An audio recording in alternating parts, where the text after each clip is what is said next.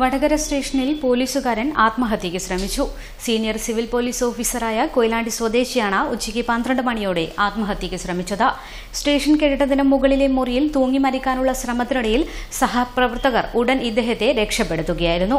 ഫലം പ്രയോഗിച്ച വാതിൽ തുറന്ന ഇദ്ദേഹത്തെ പുറത്തെടുത്ത് ആശുപത്രിയിൽ പ്രവേശിപ്പിച്ചു. വൈകി എത്തിയതിന് ഹാജർ പട്ടികയിൽ ആബ്സെന്റ് രേഖപ്പെടുത്തിയതിന്റെ പേരിലാണ് ആത്മഹത്യയ്ക്ക് ശ്രമിച്ചതെന്നാണ് വിവരം.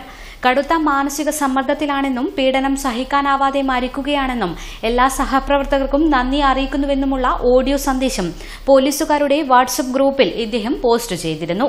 ഇതിന് പിന്നാലെയാണ് ആത്മഹത്യാ ശ്രമം നടന്നത്. ഓഡിയോ കേട്ട് സഹപ്രവർത്തകർ പിന്തുടർന്ന് എത്തിയപ്പോഴാണ് ആത്മഹത്യാ ശ്രമം കണ്ടതും രക്ഷപ്പെടുത്തിയതും. കലേരിയിലെ സജീവൻ എന്ന യുവാവ് സ്റ്റേഷൻ വളപ്പിൽ മരണപ്പെട്ടതിനെ തുടർന്ന് വടകര സ്റ്റേഷനിലെ മുഴുവൻ പോലീസുകാരെയും സ്ഥലം മാറ്റിയതിനാൽ മറ്റ് സ്റ്റേഷനുകളിൽ നിന്നുള്ളവരാണ് ഇപ്പോൾ വടകരയിൽ ജോലി ചെയ്യുന്നത്. കൊയിലാണ്ടിയിൽ നിന്നുള്ള സീനിയർ സിവിൽ പോലീസ് ഓഫീസർക്ക് പലപ്പോഴായി ആബ്സെന്റ് മാർക്ക് രേഖപ്പെടുത്തിയതായി കേൾക്കുന്നു. തിരികെ ജോലി ചെയ്യാനുള്ള ജോയിന്റ് റിപ്പോർട്ട് സ്വീകരിക്കാതെ നിരന്തരം ദ്രോഹിച്ചെന്നും പറയുന്നു. ഇത് സഹിക്കാനാവാതെയാണ് ഓഡിയോ സന്ദേശം പോസ്റ്റ് ചെയ്തതും പിന്നാലെ ആത്മഹത്യയ്ക്ക് ശ്രമിച്ചതും സംഭവത്തിനു പിന്നാലെ സ്പെഷ്യൽ ബ്രാഞ്ച് ഡിവൈഎസ്പി പോലീസ് സ്റ്റേഷനിലെത്തി വിവരങ്ങൾ ശേഖരിച്ചു. വലിയ സന്തോഷങ്ങൾക്കിടയിൽ നഷ്ടപ്പെട്ടു പോകുന്ന ചില ചെറിയ ഇഷ്ടങ്ങളുണ്ട്.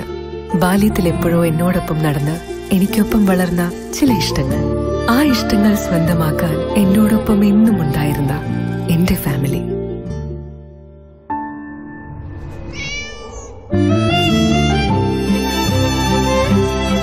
എന്റെ ഇഷ്ടങ്ങൾ എന്റെ ഫാമിലിക്ക് അറിയാം. Family wedding centre.